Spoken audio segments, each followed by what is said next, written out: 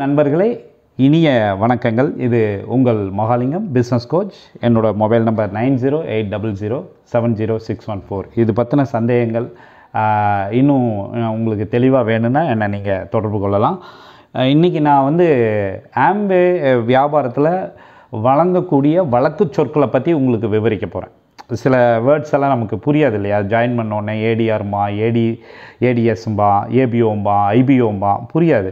So அதை பற்றி தான் நான் சொல்ல போகிறேன் ஏஐஇன்னு ஒரு வழக்கு சொல்லி சொல்லுவோம். அது என்ன? ஏஐஇன்னா ஆம்வே இந்தியா என்டர்பிரைசஸ் அதை தான் வந்து அவங்க ஷார்ட் ஃபார்மாக ஏஐஇ அப்படின்னு சொல்லுவாங்க.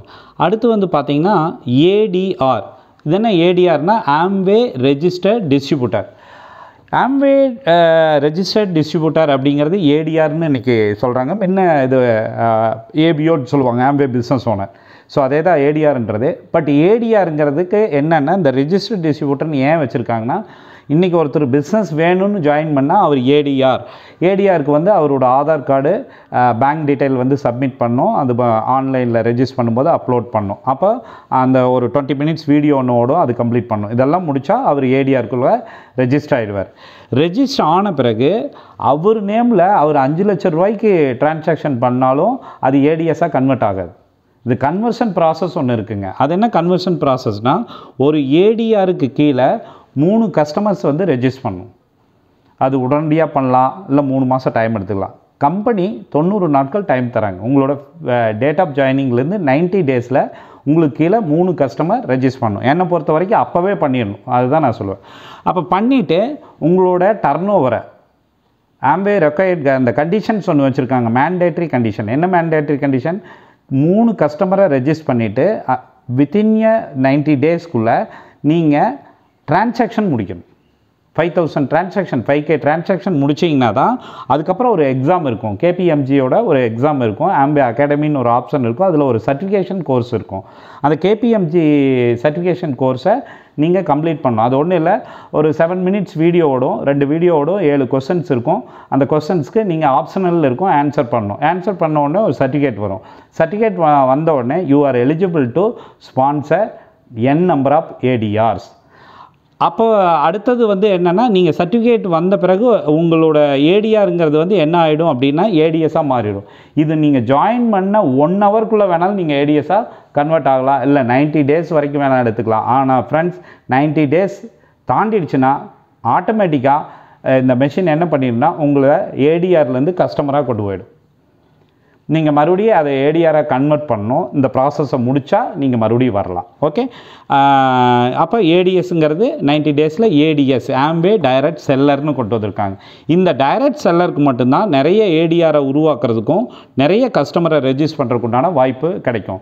பட் ஒரு ADR N number of preferred கஸ்டமர்ஸை டேவோட்லேருந்தே இருந்தே அணைக்க ஆரம்பிக்கலாம்.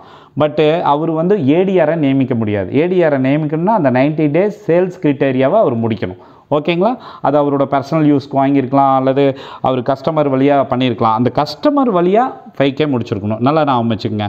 அடுத்தது பிசி ப்ரிஃபர்டு கஸ்டமர்ஸ் அடுத்தது வந்து பார்த்திங்கன்னா நம்ம பிஸ்னஸ் கால்குலேஷனுக்காக சில விஷயங்கள் போட்டிருக்கேன் இந்த வீடியோவில் எம்ஆர்பி ஜென்ரலாக எல்லா ப்ராடக்ட்டும் பார்த்தா நம்ம எம்ஆர்பி பார்ப்போம். அதனோட அப்ரிவேஷன் உங்களுக்கு நல்லாவே தெரியும்.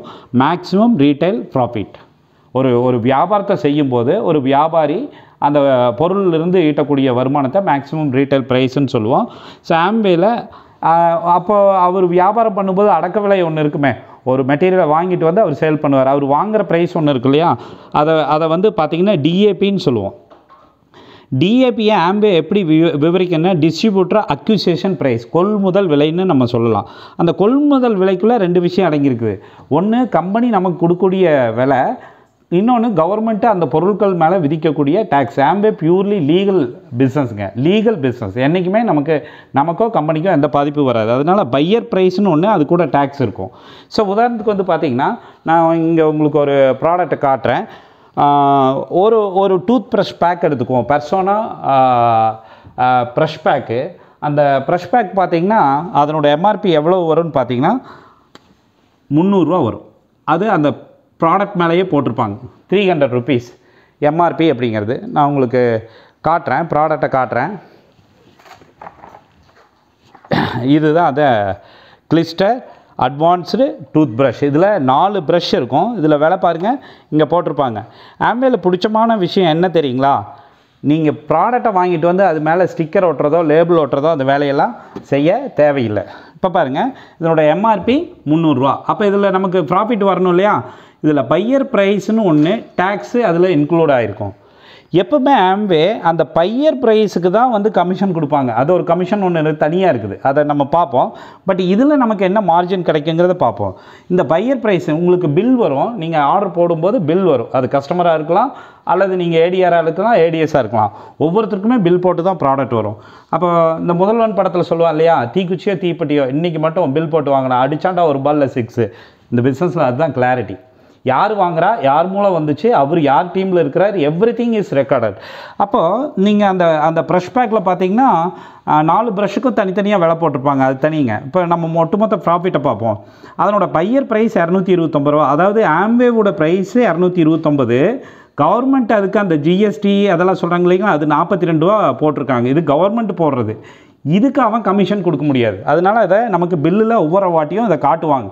டேக்ஸ் எவ்வளவு ப்ராடக்ட்டோட ப்ரைஸ் எவ்வளோன்னு அப்போ இந்த இதில் வந்து பார்த்திங்கன்னா இந்த நமக்கு வந்து அந்த பர்ஃபார்மன்ஸ் போனஸ்ன்னு ஒன்று சொல்லுவாங்க. அதுக்கு வந்து இந்த ப்ரைஸ் தான் கால்குலேட் ஆகும். ரைட்டுங்களா அதை வந்து அவன் என்ன சொல்கிறான் பிவின்னு சொல்கிறான் பிவி மீன்ஸ் பாயிண்ட் வேல்யூ இந்த பாயிண்ட் வேல்யூ எப்படின்னா இந்த டிஏபி மைனஸ் டேக்ஸு இதுதான் பிவின்னு சொல்லுவோம்.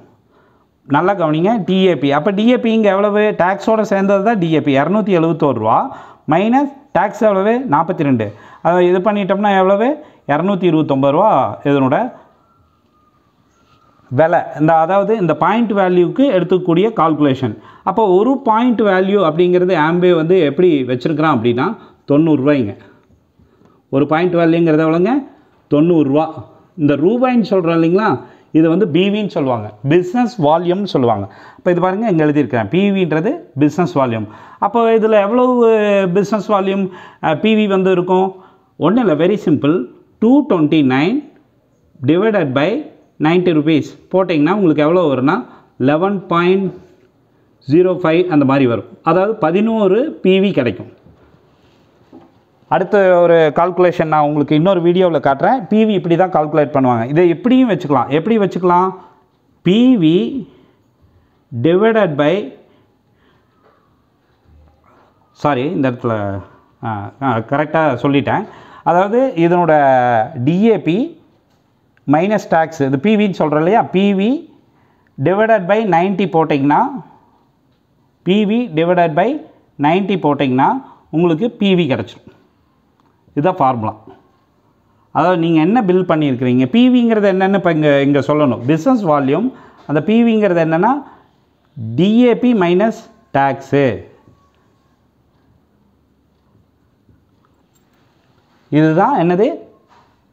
பாயிண்ட் வேல்யூ ஒரு பாயிண்ட் வேல்யூங்கிறது 90 ருபீஸ் அப்போ இந்த பாயிண்ட் வேல்யூ எதுக்கு கால்குலேட் பண்ண போகிறோம் அந்த சார்ட் என்னங்கிறது நான் நெக்ஸ்ட் வீடியோவில் உங்களுக்கு ஷேர் பண்ணுறேன் இது உங்களுக்கு பயனுள்ள முறையில் இருக்கும்னு நினைக்கிறேன். இந்த பிஸ்னஸை தொடங்கினவங்க இந்த வழக்கு சொற்களை நல்லா தெளிவாக புரிஞ்சுக்கணும். குறிப்பாக இந்த PV PV PV PV ratio அப்படின்னு சொல்லுவாங்க. இன்றைக்கி ஒரு பிவின்றது இந்தியாவில் 90 ருபீஸுங்க இரநூறு பிவி பண்ணவங்களுக்கு அடிஷ்னலாக ரீட்டைல் மார்ஜின் அப்போ இதில் ஒரு ப்ராஃபிட் நம்ம பா அதை பற்றி நான் விவரிக்கல. இதை கவனமாக பாருங்கள் முந்நூறுரூவா இப்போ இதனோட ப்ரைஸ் நம்ம பில் போட்டு வாங்கும்போது எவ்வளோங்க இரநூத்தி எழுபத்தோரு ரூபா. அப்போ உங்களுக்கு ப்ராஃபிட்டு கை மேலே ஒரு கஸ்டமருக்கு நீங்கள் கொடுக்குறீங்கன்னா உங்களுக்கு கையில் கிடைக்கிற ப்ராஃபிட் வந்து எவ்வளோன்னா முப்பது ரூபா. ஸோ ஆம்பே இப்போ என்ன பண்ணுறாங்கன்னா இது கையில் கிடைக்கிற ப்ராஃபிட்டு உங்கள் பேங்க் அக்கௌண்ட்டுக்கு ஒரு கஸ்டமர் சேல்ஸ் இன்சென்டிவ் சி